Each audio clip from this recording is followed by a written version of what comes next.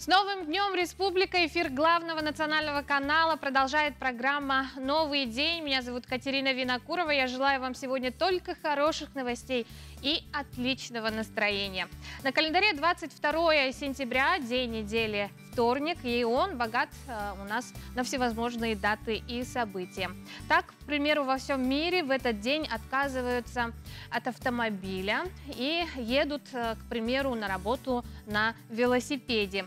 А, стоит отметить, что праздник все больше привлекает к себе внимание неравнодушных людей. Он действительно объединяет, а, сплачивает тех, кто, тех, которым не все равно, какая природа и атмосфера их окружает. А в России в этот день ежегодно проходит акция на работу на велосипеде. Также сегодня отмечаются международные зоопраздники, такие как День защиты слонов и День носорогов. Еще одним событием обозначен день 2 День 22 сентября – это день осеннего равноденствия, который знаменует прощание а, с теплым сезоном и скорый приход зимы. Хочешь не хочешь, она у нас наступит. А, на улице уже давно а, ощущается дуновение холодных ветров, а солнце уже ран раньше садится за горизонт. В астрологии и нумерологии День осеннего равноденствия полон сакрального смысла. Это одна из важнейших кардинальных временных точек года, и наши предки знали о необычности этого дня, называя его Туасень. А после принятия христианства праздник стал отождествляться еще и а, с Рождеством Богородицы. Так почитали равноденствие в Древнем Египте, в Японии и Мексике. Считается, что а, 22 сентября наступает вторая часть Бабьего лета. И по поверьям, какая погода в этот а, день будет, такой будет и осень. Прогноз погоды далее.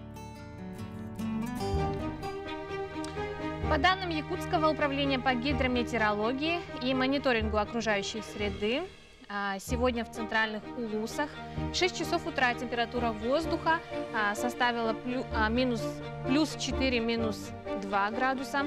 Днем ожидается плюс 14, плюс 15. В Заречье минус 1, плюс 3 утром, днем плюс 13, плюс 14 градусов. Южных улусах плюс 2, 0 градусов утром, днем ожидается до плюс 14, плюс 15. В Вилюйских улусах плюс 1, плюс 4 утром, днем плюс 12, плюс 16 градусов. А в Нижнеленских минус 1, плюс 4 утром, днем плюс 12, плюс 15. В западных улусах плюс 3, плюс 6 утром, днем плюс 14, плюс 17 градусов. В Колымо-Индигирских улусах плюс 2, плюс 4 утром, днем плюс 5, плюс 10. В Янских улусах плюс 2, плюс 4 утром, днем плюс 6, плюс 10 градусов. В северо-западных улусах плюс 4, плюс 6 утром, днем плюс 9, плюс 12.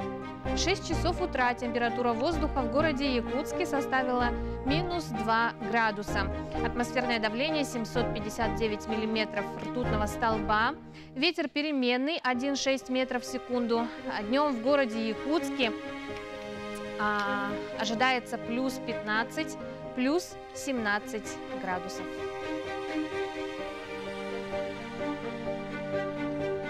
Инструктор йоги из Гонконга по имени Йока Кикучи, счастливая владелица четырех собак породы Сиба Ину. Кико, Хина, а Саша и Мома живут очень дружно и не конфликтуют между собой. Вот только Хина, собака с белым окрасом, очень непоседливая и портит буквально каждый снимок, который пытается сделать ее хозяйка. А питомица то отворачивает морду, то скалит зубы, то забавно кривляется на камеру. Йока собрала целую подборку испорченных снимков и поделилась ими в социальных сетях. Теперь за выходками собаки Хины следят более 70 тысяч человек.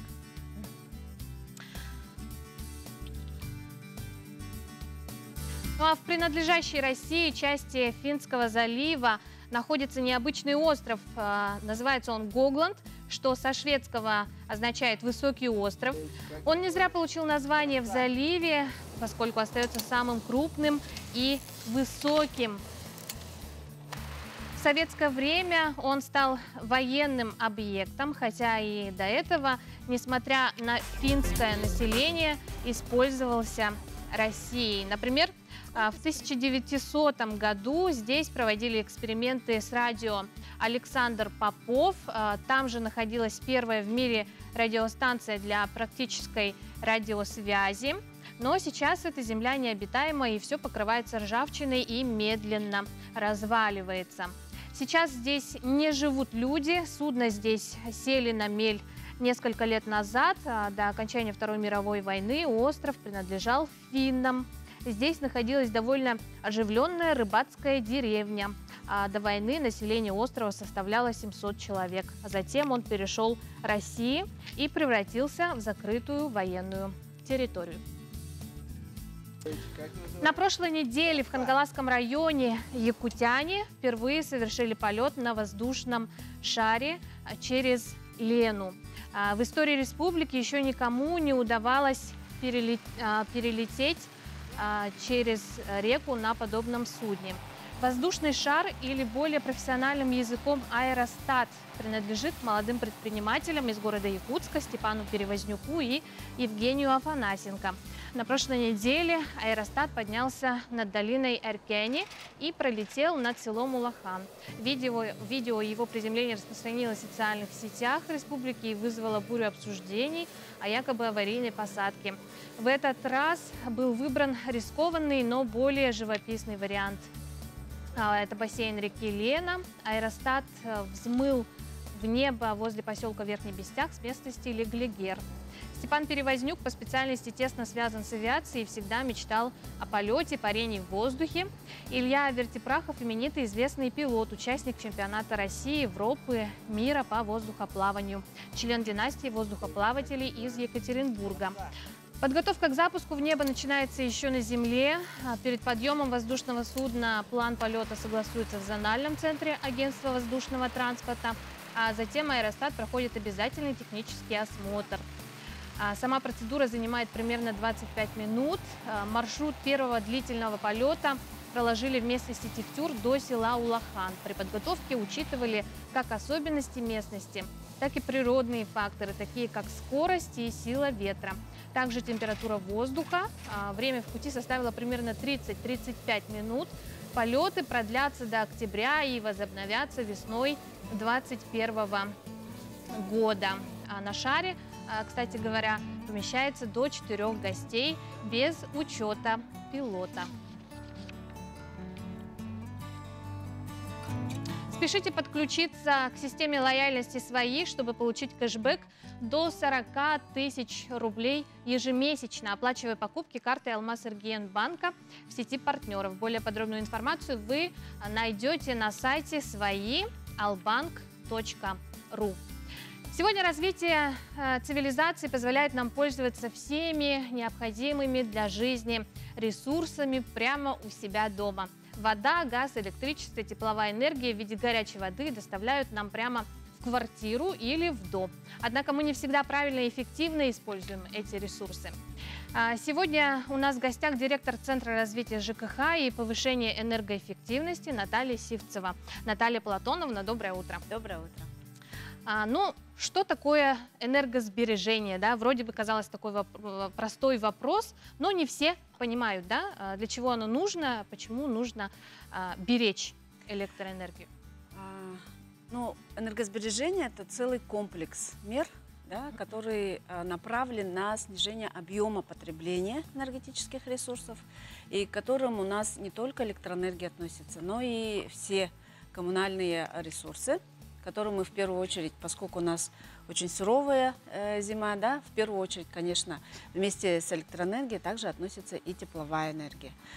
Э, к ресурсам также относится и вода, как вы сами отметили, да, угу. и, э, собственно, э, вот комплекс этих мер, э, который позволяет нам бережно относиться к тем же э, нашим природным ресурсам, Вообще вот тема бережливости, экологичности сегодня тема очень востребованная, да, поэтому Мгм. а, при этом, а, несмотря на снижение объемов, а, полезный эффект от использования этих ресурсов, он а, при энергосбережении должен сохраняться, а а, в идеале еще и возрастать. Мгм. Мгм. Поэтому вот э, э, понятие энергосбережения у нас э, на сегодняшний день наряду э, с экологичностью э, необходимо также вот, учитывать и э, понимать. Мгм. Ну вот, э, как нам известно, на днях правительством э, республики был принят проект закона о э, энергосбережении. Да? А Что это за закон, э, кого он касается? Ну, закон об энергосбережении в республике с 2013 года действует. Э, Сейчас вот данным законопроектом да, вносятся изменения Поправки. в, да, в части уточнения, в части энергосервиса в жилищном фонде. а, учитывающие наши региональные особенности, поскольку а, в республике а, ну, действует э, своя специфика, да, и, соответственно, э, федеральное законодательство э, его мало регулирует. Нам понадобился вот такой нормативный правовой акт для того, чтобы учесть вот всю региональную специфику в жилищном фонде и создать правовую основу для привлечения а, внебюджетных источников для инвесторов, да, а, которые помогут э, решить вопросы, накопившиеся вопросы в жилищном фонде а, в части вот, проведения энергосберегающих мероприятий, да, к которым Мгм. относятся а, устройство индивидуальных тепловых пунктов, да, утепление окон, а, общедомового имущества. Это окна, двери, утепление фасадов, ну вот такие дорогостоящие мероприятия, а, которые сегодня, а, ну, на которые зачастую недостаточно средств. А, Вот. Вот, поэтому, в принципе, вот этот э, закон, он позволит привлечь, как я сказала, не только средства да, инвесторов, но и объединив усилия да, не только власти, но и бизнеса, и общественности, в первую очередь также собственников жилищного фонда, да, а, мы смогли бы как-то в том числе решить проблему, э, накопившиеся проблемы в капитальном ремонте жилфонда, да, поскольку эти мероприятия во многом э, сопряжены с теми же видами работ, которые проводятся в многоквартирных домах в рамках вот капитального ремонта. Ну, мы знаем, что проводится специально э, целый фестиваль даже, да, под названием «Вместе ярче». Что это за фес- фестиваль, э, какие мероприятия запланированы, когда он пройдет у нас? Да, э, значит, у нас вопросы популяризации, получается, да, энергосбережения, они в том числе реализуются и с помощью вот ежегодно проводимого фестиваля «Вместе ярче». Вообще фестиваль проводится уже пятый год, М, и э, сейчас вот уже на стадии э, участия, да, э, региональный этап, который проводится среди вот э, ну, нашего э, поколения, младшего поколения, Мгм. Значит, у нас подрастающее поколение, которое должно привить культуру, да, которое мы должны привить культуру, вот эту э, по экологичности, по энергосбережению. Э, в общем, это э, фестиваль сейчас вот э, на региональном этапе охватывает три, пока три мероприятия. Это для начальных классов, это у нас э, конкурс рисунков и плакатов. Для э, старших классов это э, проекты, там есть исследовательские проекты да, в области э, энергосбережения. И для, э, ну, этот же э, этап, он направлен на э, ста- старшие курсы вот, э, студентов. да. Мгм. Э, Дальше у нас есть еще значит, конкурс э, сочинений. То есть сейчас вот региональный этап, он э, определяет победителей, и э, вот эти победители, они э, идут на э, уже федеральный Уже этап. на всероссийский, Поэтому, да? на всероссийский э, федеральный этап. Поэтому э, приглашаем всех, кто э, желает участвовать. Сроки проведения у нас э, при, прием, приема вот этих работ э, до 15 октября. А, По сочинению, правда, до 3 октября, там федеральные э, этот, да, этот, э, условия. И, соответственно, э, пригла- приглашаем, чтобы у нас население приняло активное участие. Дети, студенты, пожалуйста. Наталья Платоновна, спасибо вам, что проснулись этим ранним утром, пришли к нам в студию, рассказали а, очень полезную информацию этим утром. Отличного вам дня, плодотворной работы. Ждем вас снова. Спасибо. И будем почаще поднимать тему электросбережения, энергосбережения и энергоэффективности. Спасибо. Спасибо. А возможно, школа для вас уже давно забытое слово. А может быть, вы закончили ее совсем недавно. Но все же нам очень интересно, хорошо ли вы помните, что вы проходили на уроках, например, на биологии. А, как думаете, что больше по размеру, инфузория туфелька или амеба? Свои варианты ответов вы можете присылать э, на наш WhatsApp номер 8 914 279 2262. Ну а сейчас я предлагаю вместе с нами пройти небольшой тест и узнать, насколько хорошо мы учились в школе. Спасибо. Все нормально? Сколько спряжений у глагола, помните? Шесть, да? Пять не ответить, да? Пять. Там больше, наверное. Спряжение глагола? Три? Не? А, два. А, не помню. Три, два. Два. Два спряжения, точно, господи, конечно. Два спряжения. Два, два, два. А какие окончания помните? Забыла.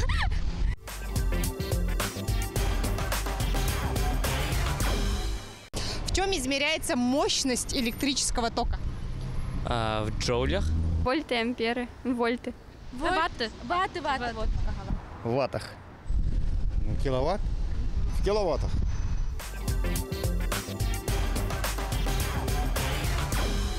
Самое известное изобретение Альфреда Нобеля. А, забыл. Не знаю. Вот это не знаю. Я даже не знаю, за что он получил Нобелевскую премию. Ну, вернее, изобрел ее, наверное, да? Ну, этого человека вы слышали, Нобель, да? Премия есть, Премия. А он вообще чем известен? Он был ученый в какой области? Физика, да? Химия. Химия. Динамит? Вы первый, кто правильно ответил. Тротил? Нобеля? Нобель, Нобель. А это не, не он динамит? Он, он,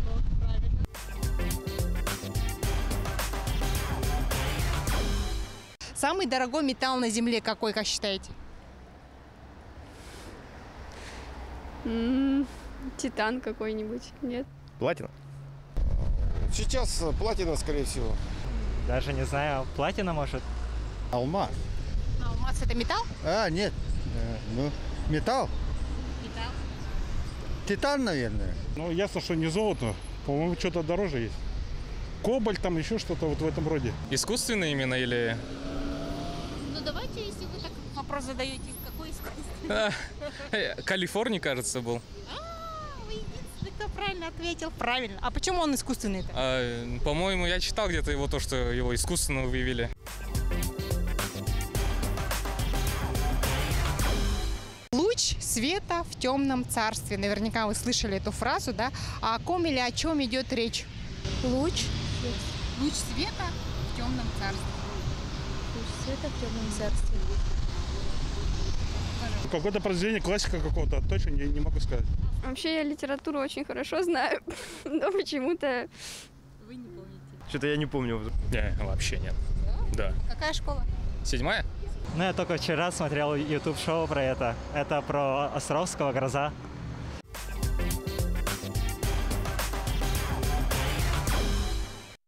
Новозритель открывает 29-й театральный сезон и в самом ультрасовременном красивом здании нашего города, в Центре культуры и современного искусства имени Гагарина. Свои двери театр откроет уже 24 сентября. И с нами сейчас на прямой связи по скайпу художественный руководитель театра, заслуженный работник культуры России, народный артист республики Алексей Прокопьевич Павлов. Алексей Прокопьевич, доброе утро. Доброе утро. Ну, наконец, мы вас поздравляем. После длительного перерыва да, состоится долгожданная встреча со зрителем. А, Что мы посмотрим а, в этот день, 24 сентября? Что нас ждет?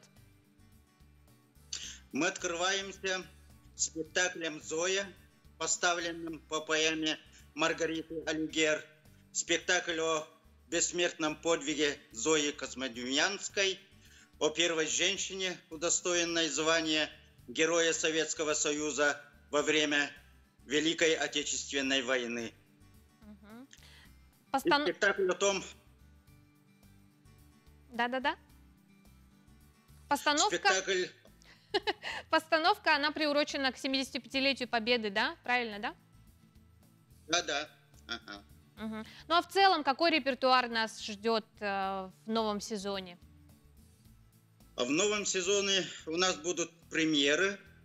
Первая премьера в, в ноябре месяце. Э, Спектакль э, «Вечно живые» Виктора Розова в постановке а, Александра Тетигирова. Также в декабре будет премьера спектакля по премьера э, по произведениям Майама Сомерсета. А, И к юбилею э, Федора Достоевского по школьной программе мы будем ставить спектакль «Преступление и наказание». В новом сезоне такие премьеры будут Мгм. у нас. Мгм. Также мы будем принимать участие во втором фестивале э, театров Дальнего Востока в городе Хабаровске, это в ноябре. И у нас в планах, э, планах э, гастроли в Биробиджане, в городе Биробиджан, со спектаклем «Мой, мой маленький бог» Екатерины Ткачевой, постановки Александра Тетигирова. Алексей Прокопьевич, а если говорить а, о, о коллективе театра, да, а, это новые актеры или уже знакомые нам а, актеры? Труппа театра. А, У нас актерский состав не изменился. А, У нас э, актерский состав молодой, перспективный. Перспективный. Ага. Ну, отрадно, что теперь а, в- постановки будем мы смотреть с нового центра, да, какие это возможности дает центр Гагарина. Да, это ультрасовременный э, центр культуры и современного искусства. И зал большой, и возможности на сцене очень большие. Это так что мы будем работать в этом центре. Э, Спасибо, Алексей Прокопьевич. Э, Желаю вам только хорошей работы. Наконец состоится долгожданная встреча 24 сентября. Приглашаем всех зрителей, не только юных, но и старшее поколение в центр а, имени Гагарина. Ну а на этом я с вами прощаюсь. Желаю сегодня вам отличного дня обязательно. А, Встречаемся завтра в это же время. Ну а далее слово моим коллегам из якутского блока.